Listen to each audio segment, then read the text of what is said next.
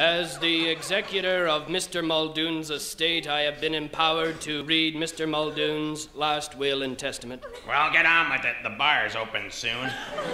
Oh, poor dear Arthur. Ah. Oh, there, there, Jenny. God, how predictably boring. I never worked for a kinder man. If we are all seated, I shall proceed with the reading. I knew it. I, Arthur Durham Muldoon, being of sound mind and body, That's a laugh. do hereby divide up my considerable estate as follows. To my overly emotional sister, Jenny, Jenny, darling, he's talking about us. Oh. who grubbed with her husband Hank, grubbed for everything they could get from me, and then cried crocodile tears when I needed sympathy. What? To Jenny, I leave a boot to the head. A what?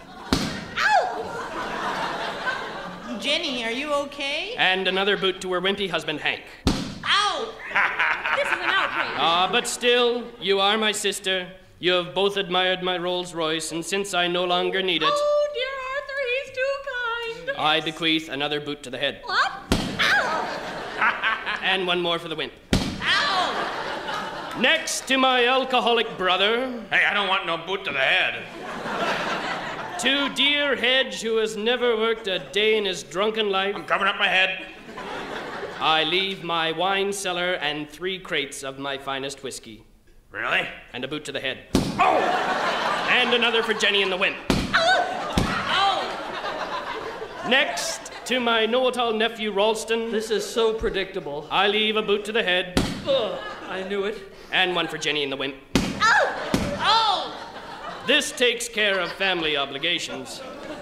And now to Mrs. Mulroy, Oh, I don't want nothing. who took care of me faithfully these many, many years, who cared, made me laugh, brought me tea. Oh, I didn't mind. To Mrs. Mulroy, I bequeath a boot to the head. And one for Jenny and the Wimp. Ah! Oh! And so to my cat Mittens, I leave my entire vast boot to the head. And finally, to my lawyer, who has helped me on this will, I leave not a boot to the head, but a rabid Tasmanian devil to be placed in his trousers.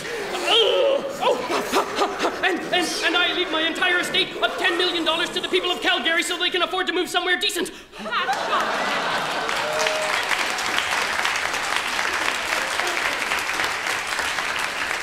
That it? That's it? That's disgraceful.